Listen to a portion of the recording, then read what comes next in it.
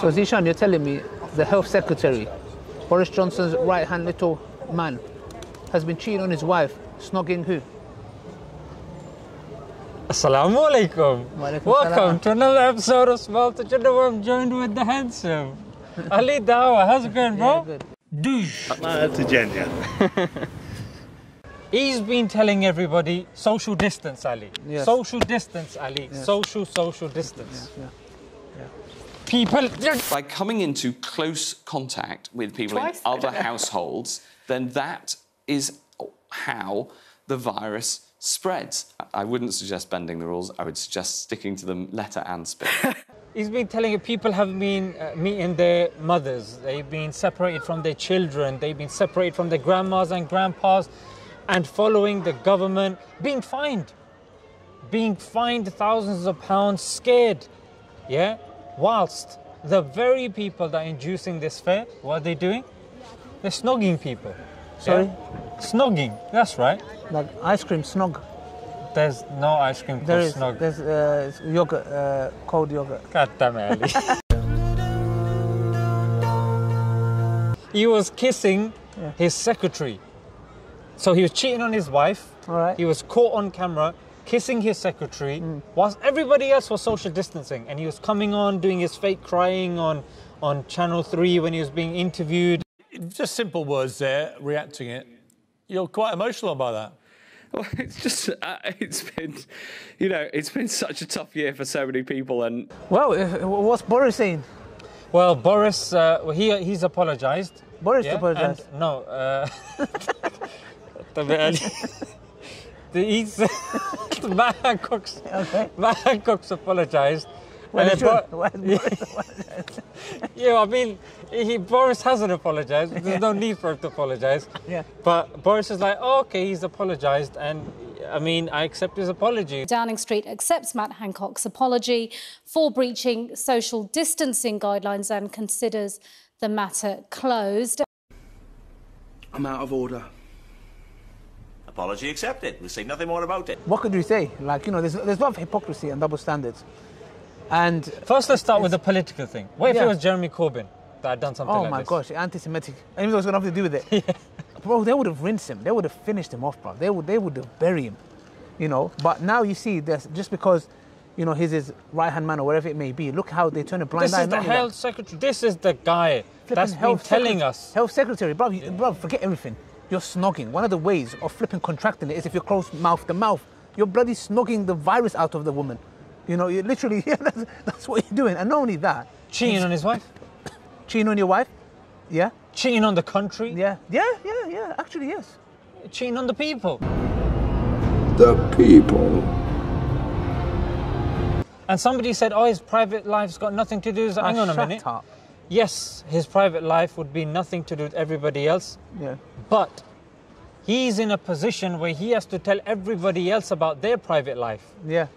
He's Exactly. telling us, don't see your mother, don't see this, don't see that, stay indoors, Mm. social distance. So I'm sorry, you need to live as an example. Yeah, exactly. Don't be a hypocrite. Yeah, exactly. those of us who make these rules have got to stick by them, and that's why I've got to resign. The politics nowadays has become a joke. Mm. Yeah, you got Boris Johnson leading this country. Yeah, he was uh, supported by Tommy Robinson and the likes, the far right. Mm. You've got, of, of course, we had the Trump, he was also supported by the far right.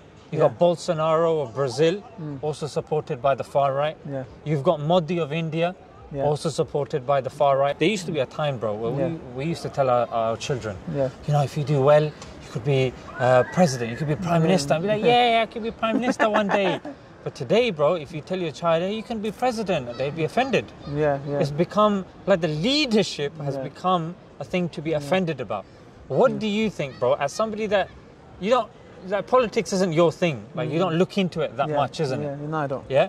So That's why I'm not talking much. yeah. So in terms of all this, bro, in Mm. what I've said, what does that give impression to you? To- to somebody with, honest, with, with, it's- with a child Yeah. and somebody that has to now teach their child about these sorts of things. What would you mm. say? Well, to be honest, I'll go straight to like Islam in the context where I look at it and it's corruption in the land, and it's corruption from the higher up to the lower down. Because if you think about it, as an individual, this person he can he can not be a politician. He can be nothing. The fact that him cheating on his wife is a serious crime in Islam. Now we understand in Islam that the, the, the punishment is for actual zina. Yeah, there's a- there's a punishment. But, but but but the thing is, I understand in this very instance, it's the kissing, and the punishment wouldn't apply here because it's not actual intercourse. Uh, but if he's kissing, and God knows what's happened. But anyways, the point is this: there's corruption from the ground level where one's faithfulness to his wife is in big question. And if somebody is doing that, you know, and Allah says, you know, for those that transgress, because Allah's told that you know you can marry once or twice etc because and this is why to protect the rights of the woman because if you think about it he's actually using and abusing this secretary as a side chick and she has no absolute rights. You know he's just using her for his desire. So you can see corruption on a ground level. And then you see corruption in a higher level where he is eh, like Allah says in the Quran it is hateful in the sight of Allah that you say something that you don't do. And that's exactly what's happening corruption on a should I, should I say corporate level or in, in, in a state level where you are taking the people for a mug and you're saying, oh yeah, lockdown, etc., you get a fine, all this kind of nonsense, and you are snogging your secretary behind closed doors, you know, and then you see the corruption in a, in a, in a higher state, like I said before, for Boris Johnson to, because when a state government, imagine the, the Khalif of an Islamic rulership, seeing his right hand man doing such a thing, can, there has to be severe punishment because the people will lose trust. But this, then it shows you how corrupt the people must be to turn a blind eye. So you can see corruption from the Yeah, ground level to the state level to the society as a whole, which they're like, oh, everybody cheats, oh, it happens. So I just see nothing but fitna in the land, and that's the times that we're living in, and it just shows me further it's the times, end, end times. I saw this meme, and uh, the, the meme was saying, I think the secretary had COVID. And then somebody Well, goes, well, he's got it now. But no, but, but they go, why, why, why did uh, she have COVID? Well, because COVID means uh, you lose, uh, you, lose your sense of taste.